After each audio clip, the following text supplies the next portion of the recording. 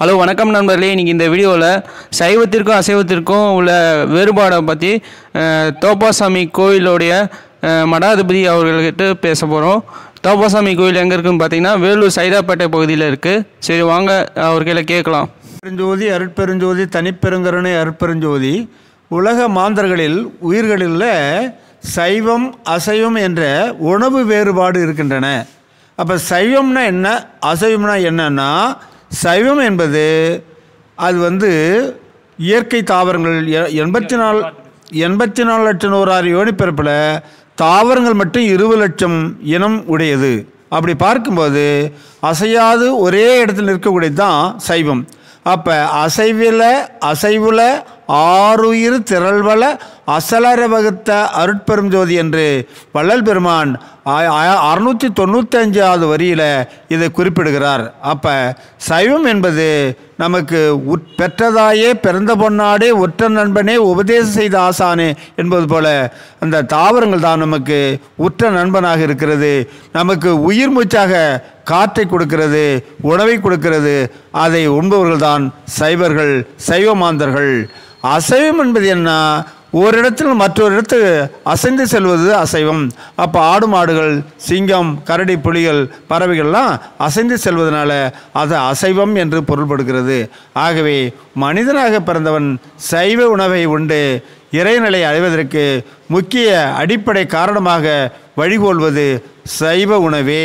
அப்போ மாந்தர்கள் அசைவத்தை விட்டு சைவத்திற்கு வந்தால்தான் இறைவனை கண்கூடாக காணலாம். அப்படி பார்க்கும்போது சுந்தரர் கைலாயத்தில் இருக்கிறார் அவரை பார்க்கிறார் சிவம் சுந்தரரை இந்த பூலோகத்துக்கு அனுப்ப வேண்டும் என்று அவருக்கு இந்த காதல் மயக்கத்தை உற்பத்தி ப- உ- கமலினி யாகினி என்ற பெண்கள் மலர் இருக்கிறார்கள். அந்த பெண்களை பார்த்து இவர் மயல் கொள்கிறார். அப்போ சுந்தரரை பார்த்து உனக்கு காதல் சிற்றின்பம் உணர்வு வந்துவிட்டது. நீ பூலோகத்துக்கு சென்று அனுப்பி வைக்கிறார். அப்போ அனுப்பினால் மீண்டும் என்னை எப்படி அழைப்பாய் நான் அழைக்கிறேன் சொல்லி அனுப்புகிறார். அப்போ திருநாவூரிலே திருநாவலூரிலே சுந்தரர் வந்து பிறக்கிறார். அங்கு பிறந்து வளர்ந்து பதினாறு வயது ஆகும்போது அவருக்கு திருமண கோலம் ஏற்படுகிறது. பெண் பார்க்கிறார் கல்யாண கோலத்தில் அமர்ந்திருக்கிறார் யாக குண்டத்து முன்னே.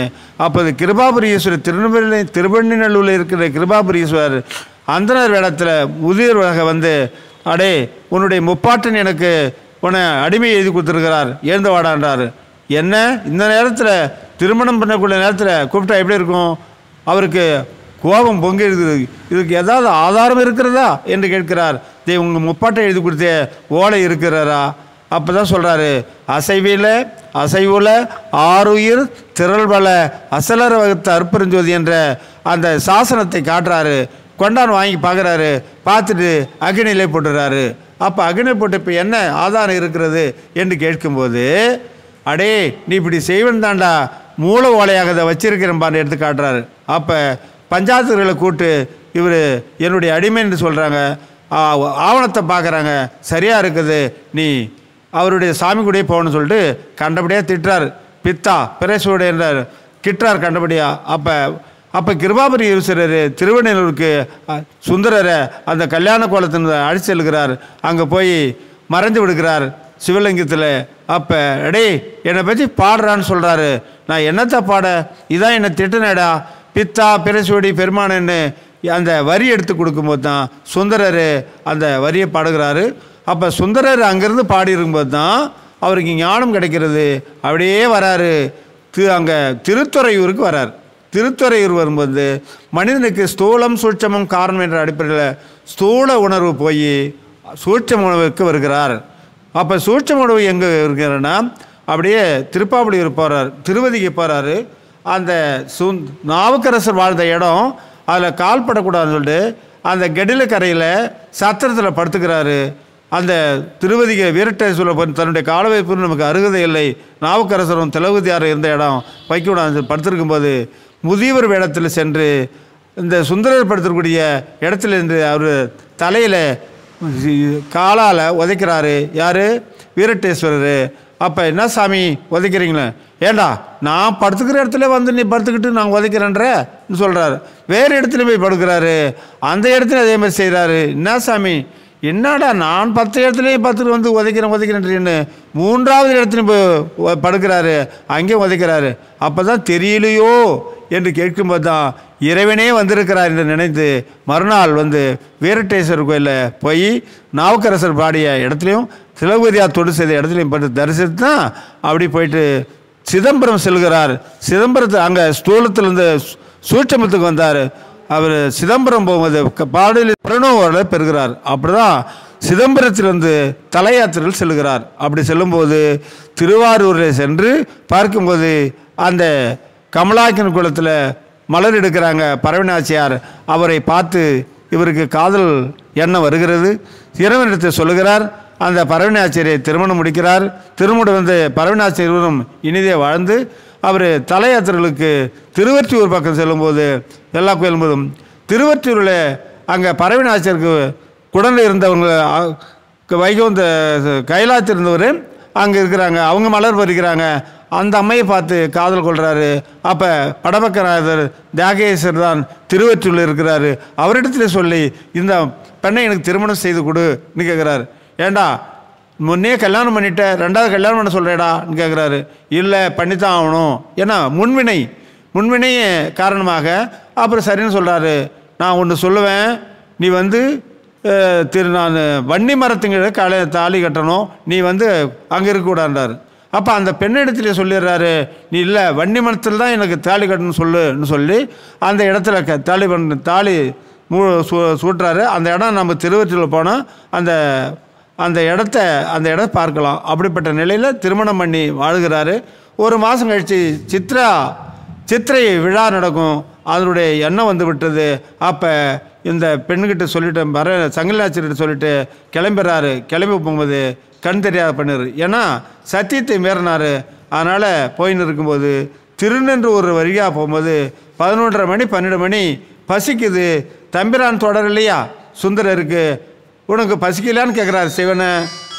அப்போ என்ன செய்கிறாரு பசிக்குது பசிக்குதுன்னு சொல்லிட்டு இறைவன் அங்கே இருக்கிற இறைவன் அந்த பகலில் போய் எல்லார் இடத்துலையும் பிச்சை சோறு எடுத்து வந்து அவருக்கு உணவு பரிவாடுறாரு பரிவாரும்போது எடேய் நான் போகிற இடத்துல நம்பர் நண்பன் தானே? போன இடத்துல பசிக்கும். எனக்கு கட்டு சோறு கட்டி கொடுறான்றாரு. அப்போ இழைப்புலரை அறிந்து அன்பர் பதுசோரிருந்த முன்னிருந்து பின்னடக்கும் விதம் என்ற அடிப்படையில். கண்ணு தெரியாதாச்சே? என்ன அந்த ஊரில் கொண்டு போய் விடுறான்னு கேட்கல ஆனால் குழந்தை தத்தி தத்தி நடக்கும்போது தாய் இப்படி பின்புறமாக சென்று அதை கீழே விழாத பார்த்துக்கிற மாதிரி அந்த ஊர் எல்லையில் கொண்டு போய் சுந்தரர் விட்டார். அப்படி இருக்கும்போது கண்ணு தெரியாத போகிறாரு காஞ்சிபுரத்தில் வராரு. அம்மனை வேண்டாரு ஒரு கண் கொடுக்குறாங்க. மறுபடியும் அதே மாதிரி போகும்போது இன்னொரு இடத்துலையும் கண் கொடுத்து கண் இரண்டும் பெற்று மீண்டும் சங்க பரவனாச்சிரிட்ட போகிறாரு ஸ்தல யாத்திரை போது திரு விருத்தாச்சல பழமுதிநாதர் போகும்போது திருமுது குன்றம் பழமுதிர பண்ணும்போது அவர் பொருள் கொடுக்குறாரு. செங்கல்ல தங்கமாக்கி கொடுக்குற அந்த மணிமுத்தா நதியிலே போட்டு கமலாக்கி குளத்தில் எடுக்கிறதாக போட்டு அந்த பரவனாச்சர் சொல்ல எல்லாரும் ஒன்றா குடிக்கிறாங்க. அந்த அம்மா நல்லா டாம்பிங்கமாக இருப்பாங்க வருணாச்சார் பிராமின். எல்லாரும் வந்து வேடிக்கை பார்க்குறாங்க. மொழி மொழி பார்க்குறாரு அந்த க தங்கக்கல் கிடைக்கல அப்போ என்ன செய்கிறாரு இதான் உன்னுடைய ஜம்பமா என்று கேளிக்கையாக வேடிக்கை பார்க்குறாங்க. ஓ இறைவன் மேலே பாடணும் என்ற இரண்டு மூன்று பாடல் பாடும்போது அந்த தங்கக்கல்லை அந்த செங்கல் தங்கக்கல்லை எடுத்து கொடுத்தார் அப்படிப்பட்ட வரலாற்று உடையவர் சுந்தரர். பதினெட்டு வயசு வந்தார். அவருக்கு பிறகு என்ன செய்கிறாரு அந்த அஞ்சக்காலத்தில் சேரமான் பெருமாளார் இருக்கிறாரு. அவர் ஒவ்வொரு நாளும் பன்னிரெண்டு மணிக்கு அந்த இறைவனுடைய சிலம்பொலி கேட்பார். கேட்டுட்டு தான் அவர் துயில்குள்ளே போவார். ஒரு நாள் அதை கேட்காத சுந்தரர் பாடிக்கிட்டு இருக்காரு. அந்த பாட்டிலே லயத்திருக்கிறாரு. அப்போ நாம் செய்தது தவத்தில் ஏதோ குறைபாடுக்கும் என்னோட உடைவாளை எடுத்து குத்தி கொள்ள போகிறார் அஞ்சக்காலத்தில் சேரமான் பெருமானார். அடடா இருடா அந்த சுந்தரர் பாடிந்தான் அதில் லயத்திட்டேன்னு சொல்லி ஏன்னா சுந்தரரை அவருக்கு அதிக அந்த சேரமான் பெ சேரமான் பெருமாள் நாயனருக்கு அறிமுகப்படுத்துவதற்காக இந்த காட்சி கொடுத்து பண்ணுறாரு அப்புறம் சுந்தரருக்கு லிகிதம் கொடுக்குறார். லிகிதம் கொடுத்து அவர்கிட்ட போய் பொருள் வாங்கிட்டார் அப்போ சுந்தரர் போய் அது சேரமான் பெருமாளை பார்த்து அப்போ அவங்களும் வந்து நம்ம தமிழ்நாட்டில் வந்து எல்லா நன்னிலம் எல்லா இடங்களையும் கோயிலும் திருவதிகை வீரட்டேஸ்வரம் திருவூர் திருவூர் எல்லாத்தையும் பார்த்துட்டு ரெண்டு பேரும் கைலாயத்துக்கு போக போகிறாங்க அவையாரை பார்க்குறாங்க ரெண்டு பேரையும்? எங்களை நீங்கள் கைலாயம் போனால் நாங்களும் என்னையும் கூப்பிட்டு போன்றாங்க. சரின்றாங்க. அவையார் வந்து பதற்றமாக விநாயகருக்கு பூஜை பண்ணும்போது பதற்றமாக பண்ணுறாங்க என்ன அவையை பதட்டம்? அவங்க சேரமான்பனும் சுந்தரரும் கைலாயம் போகிறாங்க அவங்க வர சொன்ன என்னை இட்டு வரணும் நீ பதற்றப்படாத செயல். அவர்களுக்கு முன்னதாகவே ஒன்று கொண்டு போய் நான் விடுறேன்னு சொல்லிட்டு செய்கிறாங்க இவங்க என்ன போகும்போது மறந்துட்டாங்க. அப்போ சேரமான்மையிலார் இருக்கார். இவர் இந்த வெள்ளை யானையை அனுப்புகிறாங்க ஆகாயத்துலேருந்து கைலாயத்து வருது. அதில் போகிறாரு அது ஐராவதம் என்ற யானை மேலே போகிறாரு அவர் போகிறத பார்த்துட்டு அவர் எல்லா நிலையும் அறிந்தவர் சேரமான் பெருமானார் அந்த குதிரையினுடைய காதில் இந்த ஐந்து எழுத்து மந்திரத்தை ஓதும்போது வெள்ளை குதிரை மேலே அவர் போகிறாரு ரெண்டு பேரும் போய் அந்த கைலாயத்தில் இருக்கவங்க அதுக்கு முன்னதாகவே அவையாரை கைலாயத்தில் விட்டார். அப்போ அவை முன்னாடியே இருக்காங்க. எங்களோட முன்னே வந்துட்டிங்களான்னு போது தான் அப்போ தான் அதியமான் இடத்துல சேரமான் கையலை கையிலை பாதி காலத்தி பன்று மனித உருவத்திலே சென்ற பாடுவது தான் ஒன்பதாவது திருமுறையில் வரும். அப்படிப்பட்ட பேராற்று படைத்தது சுந்தரருக்கும் அந்த சேரமான்மையருக்கும் உறவு குருவாக்கி அந்த வைகுந்தத்தை தடுத்து சென்றார். அப்படிப்பட்ட நிலையில் சுந்தரர் மிக சிறப்புடையது. இன்றைக்கி திருநாவூரில் பிறந்தார். அவருக்கு பதினைந்து கோடி ரூபாயில் இன்னைக்கு கற்றளியில் அவருக்கு கோயில் அமைத்து மக்கள் அன்றாடம் சென்று வணங்கி வருகிறார்கள். அப்படிப்பட்ட இடத்தை கண்ணுறுவதே நமக்கு அந்த கைலை காட்சியினுடைய அருள் நமக்கு கிடைக்கும் என்பதிலே எள்ளளவும் ஐயமில்லை. அதே பக்கத்தில் திருவாமூரில் நாவுக்கரசர் பிறந்த இடம். அந்த இடத்தையும் பார்க்கலாம். இப்படி இந்த உலகத்திலேயே இந்த தமிழாகம் இந்தியா என்பது சிறப்புடையது. இந்தியா என்பது உலகம் என்பது இந்த உடல் அதில் இந்தியா என்பது சிரசு தமிழ்நாடு என்பது ஆன்மீகம் என்பது எந்தையும் தாயும் மகிழ்ந்து குழாவி இருந்தது நாடே எங்கள் சிந்தையில் ஆயிரம் சிந்தைகள் வளர்ந்தது. செலுத்தினுடைய அந்த உயிரோட்டம் இருப்பது ஆன்மீகத்தில் உயிர் போல இந்த உலகத்தில் இந்த தமிழ்நாடு இருந்து உலகத்துக்கெல்லாம் உலகுயிர் திரளலாம் உலகிற பெற்ற இளங்குவயன் யான் செய்ய தந்தையின் போற்றி நிமிடல் போற்றின் பற்றின ஆற்றல் வாங்கிய அப்படின்னு உலகெல்லாம் உணர்ந்த ஓதற்கரியவன் சொல்வார். திருவள்ளுவர் கூட அகர்மதர் எழுத்தெல்லாம் ஆதிபகன் உதற்றிய உலகென்று உலகு பற்றியே நம்மளுடைய அறுபத்தி மூன்று நாயன்மார்கள் ஒன்பது ஒன்பது கோடி சித்தர்கள் பன்னிரெண்டு ஆழ்வார்கள் இந்த உலக மக்கள் வாழ வேண்டும் என்று பொதுநிலையிலேயே அம்பலத்தரசை அருள்மருந்தி ஆனந்தித்தேன அருள்மருந்தி பொதுநலத்தரசை புண்ணியனே புலவராந்தோன்கணியுடைய இந்த பொதுப்படையிலாக இந்த உலக மக்கள் எல்லாம் சுபிட்சி கொண்டு இந்த அந்த ஞா- ஞான நூல்கள் இன்றும் வளர்ந்து கொண்டிருக்கிற திருக்குறள் திருவுருப்பா திருவாசகம் திருமந்திரம் கோவையார் நாலடியார் சமணமொழிகள் என்று அகனானூறு அகநானூறு எல்லாத்திலும் அந்த ஆன்மீகத்தினுடைய படலம் அழகாக பதியப்பட்டது. பாரதியார் பாரதிதாசன் அது முதல் முதல்ல இன்னைக்கு சாமிநாதையர் ஓவிய சாமிநாதையர் எண்பத்தி ஏழு வயசு அந்த அப்படிலாம் ஒவ்வொரு மடாதிமியில் சென்று அந்த நூலை திரட்டி கொடுக்குறாரு. ஒரு பையனை அவர் கையில் பிடிச்சிட்டும் வராரு அவர் படி மேலே ஏறணும். படி படி என்று சொல்லிக்கிட்டு போகிறாரு அந்த எண்பத்தி ஏழு வயசில் அந்த படி படின்னு சொன்னான அந்த பாலகன். அந்த அந்த ஓவிய சாமினார் தான் எல்லா நூலிலையும் மொழிபெயர்த்து உருவாக்கி நூலாக்கி எந்தத்தலைனா நீ இந்த நூல்லாம் நமக்கு கிடச்சிருக்காது.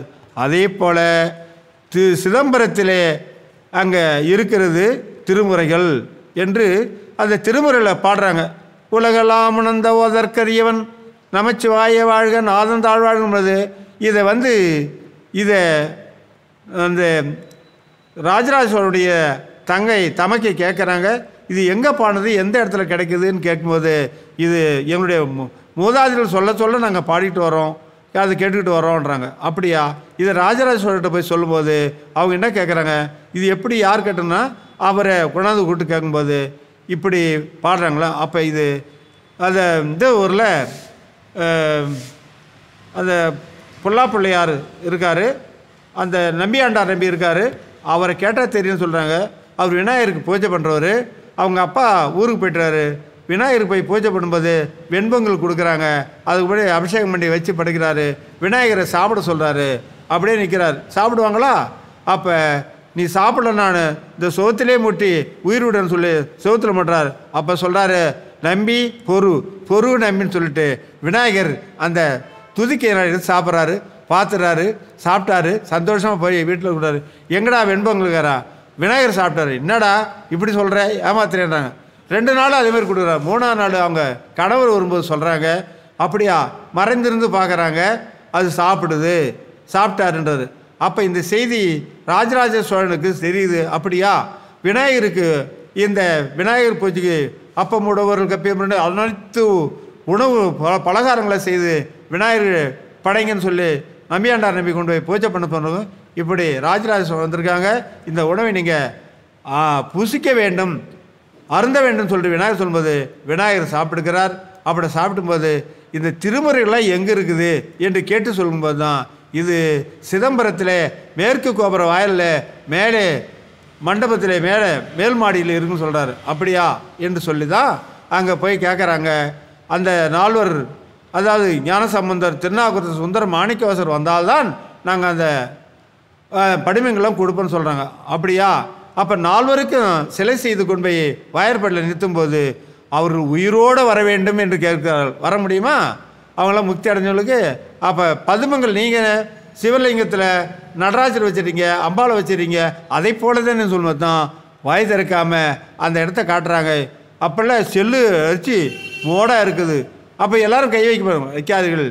எண்ணெய் நல்லெண்ணெய் கொண்டு போய் அந்த அந்த புட்டு மேலே ஊற்றுறாங்க புட்டு மேலே அந்த எண்ணெய் ஊறி பதமாக நீக்கிட்டு அந்த எடுத்தாங்கன்னா நாற்பத்தி ஒன்பதாயிரம் பாடல்கள் நமக்கு கிடைக்கிது.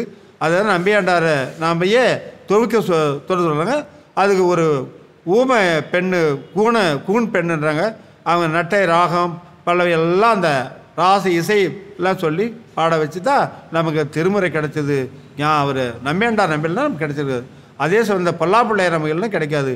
இப்படிப்பட்ட வரலாறு உடையது நமது தமிழகம் அப்படிப்பட்ட ஆற்றல் உடையது நம்முடைய பாடல். ஒரு சொல் சிவசிவன்களே தீவனையாளர் சிவசிவன்ற தீவனமாலும் சிவசிவன்ற தேவருமாவர் சிவசிவன்ற சிவகதி தானே சிவாய நவை என்று சிந்தித்திருப்போருக்கு அபாயம் ஒரு நாளும் இல்லை என்பதை சிவமந்திரத்தை சொன்னா போதும்.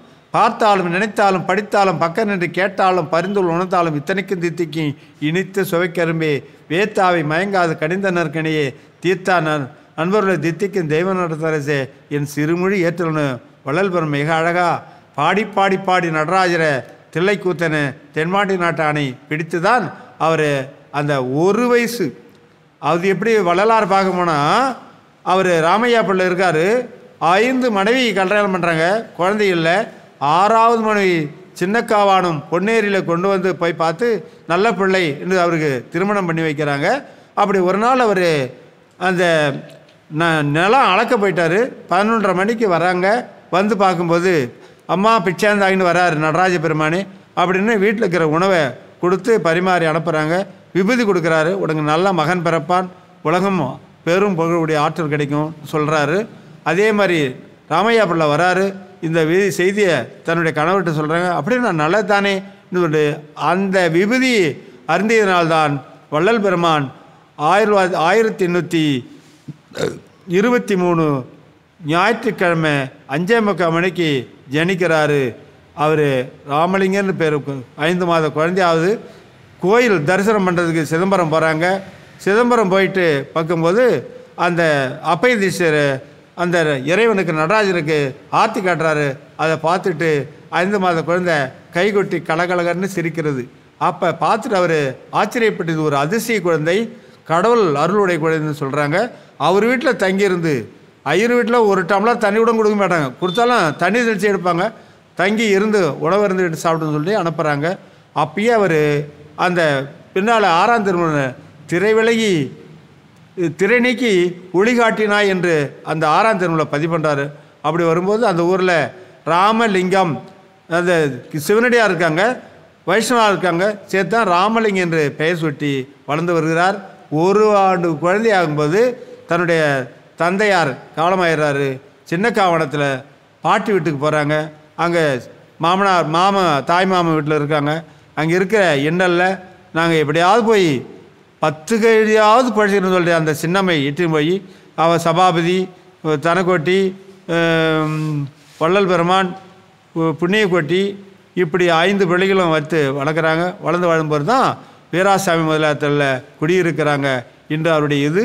அந்த வீராசாமி முதல்ல போனால் வள்ளல் பெருமான் வாழ்ந்த குடியிருக்க பார்த்துருப்பாங்க. பார்த்துங்க ஒவ்வொரு நாளும் வடிவுடைமையை வணங்க போவார் கந்தக்கோட்டை முருகனை வணங்க போவார் அப்படி வரும்போது அவர் அவங்க த அண்ணன் படித்த ஆசிரியர்கிட்டே படிக்க வைக்க விடுறாரு.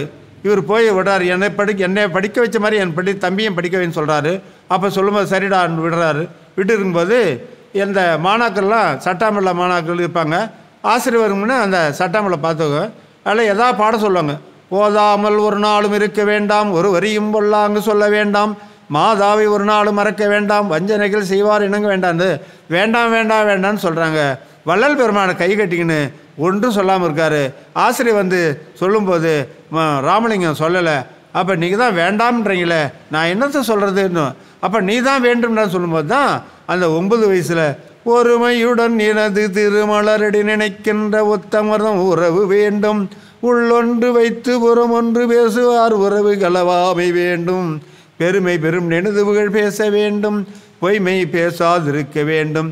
பெருநடி பிடித்திழுக வேண்டும். மதமான பிடியாதிருக்க வேண்டும். மறுவு பெண் ஆசையை மறக்க வேண்டும். மதி வேண்டும். நின் கருணை நிதி வேண்டும். நோயற்ற வாழ்வில் நான் வாழ வேண்டும். தருமமிகு சென்னை கந்த கோட்டத்து வளர்த்தலமோ கந்த தன்முக துன்ம தன்முக செய்மணி உட்முக செய்மணி ஷட்முக தெய்வமணியே என்று அந்த தெய்வமணி மாடலை ஒரு பாடல் பண்ணுறோம் அப்போ தான் முப்பத்தி நாலு பாடலை கந்தகோட்டை முருகன் பாடினார். திருத்தணி முருகனில் பாடினார். அப்படி இருக்கும்போது தான் அந்த அருள் கிடைத்து இருக்கிறபோது தான் இந்த பாடல் பாடுறாரு. அப்போ உன உன்னுடைய தம்பிக்கு நான் பாடம் சொல்வதற்கு அருகதைன்னு சொல்கிறாரு தான் அப்போ பள்ளிக்கூடம் போடலன்னு சொல்லிட்டு சோறு படா பண்ணிடுறாங்க. திருவற்றியூரையும் கந்தகோணம் பண்ணிக்கிட்டு வந்து ஒவ்வொரு நாளும் தென்னையில் படுத்துக்குவார். அப்போ அவருடைய தந்தையாருக்கு திதி நடக்குது. எல்லாரும் வந்து சாப்பிட்டு போகிறாங்க ஐயோ இந்த பிள்ளை இல்லைன்னு அந்த பாப்பாத்தியம்மா வருத்தமாக படுத்து தூங்கிடுறாங்க. பதினொன்றரை மணி இருக்கும். அப்போ என்ன செய்கிறாங்க இவர் மாட்டம் இந்த அம்மா தூங்கிடுது. அப்போ பின்னாடியே வராங்க. வடிவுடையம்மை ஒற்றியூர் வந்து பசித்தனியோ என்று? அந்த வடிவுடையம்மை அந்த பாப்பாத்தியம்மனுடைய வடிவில் உணவு கொடுக்குறாங்க. சாப்பிட்டு கேட்க வேண்டிய எல்லாம் கிடக்குது. அந்த அம்மா திறந்து வந்து கதை பார்த்து ஏவா வந்து எழுப்பக்கூடாதுங்கிற. நீங்கள் தான் உணவு கொடுத்தீங்களா நீ சாப்பிட்டுன்றார். அப்படிப்பட்ட பாப்பாத்தி வடிவிலே அந்த வடிவமை கொடுத்தாங்கன்னா அந்த அம்மை எவ்வளோ புண்ணியம் பண்ணியிருக்க வேண்டும்? அப்படின்னு தான் நாலூர் மேனி பொழுதுமாக வளர்ந்து தான் நமக்கு ஐயாயிரத்தி நூற்றி பதினெட்டு பாடல்களையும் திருவருட்பாவை கொடுத்தாரு. ஒரே ராத்திரியில் இந்த பாடலாம் படிப்பது கடினமாக இருக்குதுன்னு சொல்லும்போது தான் வளல் பெருமானது ஆயிரத்தி ஐநூற்றி தொண்ணூத்தாறு வரிய அருட்பெருஞ்சோதி அருட்பெருஞ்சோதி அந்த மந்திரத்தை மகாமந்திரத்தை இறைவனை உணர்த்த அருட்பெருஞ்சோதி அருட்பெருஞ்சோதி அருட்பெருஞ்சோதி அருட்பெருஞ்சோதி ஆகம மேல் ஆனம ஆகன்றோம் ஈகநிலை பொருளாக பரவலை ஆமரம் எப்படி? ஆயிரத்தி ஐநூற்றி தொண்ணூத்தாறு வரிய நமக்கு அகவலை அந்த அடத்தினுடைய அதாவது சுரு ரத்தின சுருக்கமாக எல்லா கருத்துக்களும் பதியப்பட்டு தான் நமக்கு அகவல் கொடுத்துருக்காரு. அகவல் படித்தால் தகவல் கிடைக்கும் என்ற அடிப்படையிலே அதை படிக்க படிக்க தேனூரும் நாம் யாவற்றையும் பெற்று இனிதே வாழலாம் என்பதில் ஐயமில்லை. உலகத்தில் தலையாய் இருந்து இந்தியா தமிழ்நாடு என்பதில் சற்றும் ஐயமில்லை என்ற நிலையிலே இருக்கிறது அதை ஒவ்வொரு நாளும் அகவல் படித்தால் தகவல் அதை காதலை கேட்டால் கூட போதும். பார்த்தாலும் நினைத்தாலும் படித்தாலும் பக்க நின்று கேட்டாலும் பரிந்து உணர்ந்தாலும் இத்தனைக்கும் தித்திக்கு இனித்து சுவைக்கிறம்பே வேத்தாவை மயங்காது கனிந்த நறுங்கனே தீர்த்த அன்பர்களை தித்திக்கும் தெய்வ நடத்தரிசே என் சிறுமொழி ஏற்றருளே கல்லார்க்கும் கற்றவருக்கும் கழிப்பொருள் கழிப்பே காணார்க்கும் கண்டவர்க்கும் கண்ணளிக்கும் கண்ணே வல்லார்க்கும் மாட்டாருக்கும் வரமளிக்கும் வருமே எல்லாருக்கும் பொதுவினிடம் இடுங்கு என் அரசே யான்புகளை இசைமல் நின்று நமக்கு அழியா செல்வங்களை கொடுத்தது. உலகத்திலேயே தலையாயது நம்முடைய ஆன்மீக நூல்கள் என்பதில் எள்ளலும் ஐயமில்லை என்பதை மிக மிக நேர்த்தியாக நேதியாக நமக்கு படைத்திருக்கிறார் முன்னோர்கள். அந்த வழியில் நாம் பின்பற்றி அறம் சார்ந்து அன்பு சார்ந்து அகிம்சை பிடித்து நாம் வாழ்ந்தால் இறைவன் அகம்புறம் துளும்பி உயிர்களுக்கெல்லாம் கலைஞனாகி கலங்கள் அறியாத காட்சியாய் கதியாய் மெய்ஞான கண்ணதாய் இலகு செய்த ஆகாசமாக ஆன்மாகாசமாக நமக்கு நம்முடைய உலத்திலே கலந்திருக்கிறார். அவரை சதா காலம் நினைந்து நினைந்து நினைந்து உணர்ந்து உணர்ந்து ஊற்றமெல்லாம் உடம்பு நனைந்து நனைந்து நன்னிதியே ஞான நடத்தரசை எண்ணுரிமை நாயகனே வணைந்து வந்து ஏற்றும் அம்மின் மரணமிலா பெருவாழ் வாழ்ந்துள்ள கண்டா உடந்துரையேன் பொய்ப்புலை சத்தியம் சொல்லின்று ஞான சரியில் இருபத்தெட்டு ஆகமங்களுக்கு இருபத்தெட்டு பாடல்கள் திருந்தான் அந்த இருபத்தெட்டை படித்தா இந்த அகில உலகத்தை நாம் ஆளலாம் என்பதில் ஐயமில்லை ஐயமில்லை ஐயமில்லை என்று இந்த அளவிலே நிறைவு செய்கிறேன். அனைத்து உயிர்களும் இன்புற்ற வாழும் என்று வாழ்க வாழ்கின்ற வள்ளல் பெருமானும் தோப்பாவும் இரு கண்களாக இரு கைகளாக இரு கால்களாக நமக்கு இருந்து செயல்படுகிறார். அவரை நினைந்து நினைந்து உணர்ந்து உணர்ந்து வையத்துள் வாழ்வாங்க வாழ வேண்டும் என்று அவருடைய அருளாலே பரிபூரணம் பெற்று எல்லோரும் இனிதே வாழ வேண்டும் என்று நிறைவு செய்கிறேன். நல்வாழ்த்துக்கள். நல்வாழ்த்துக்கள் நல்வாழ்த்துக்கள்.